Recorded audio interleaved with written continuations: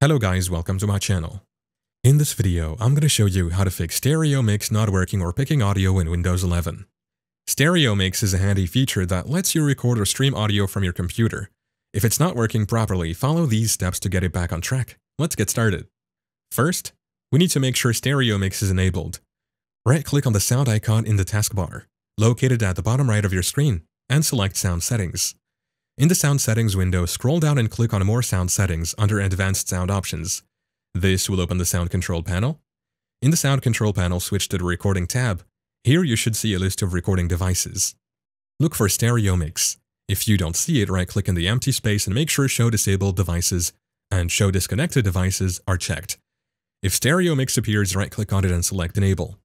Next, make sure Stereo Mix is set as the default recording device. Right-click on Stereo Mix and select set as default device.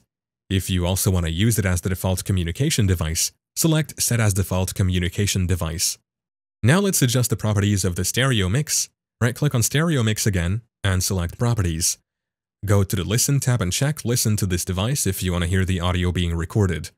Click Apply and then OK to save your changes. Sometimes outdated drivers can cause issues with stereo mix. To update your audio drivers, go back to the main sound control panel and click on the Playback tab. Right-click on your default playback device and select Properties. In the Properties window, go to the Driver tab and click Update Driver. Follow the prompts to search for and install any available updates. After making these changes, restart your computer to ensure all settings are applied correctly. This can help resolve any lingering issues with stereo mix. Once your computer restarts, test stereo mix by trying to record or stream audio. Open your recording or streaming software and select stereo mix as the input device. Check if it's picking up audio properly. And that's it. Thank you for watching. If this video was helpful, please leave a like and subscribe to my channel for more videos like this. And click on that notification bell to never miss an update.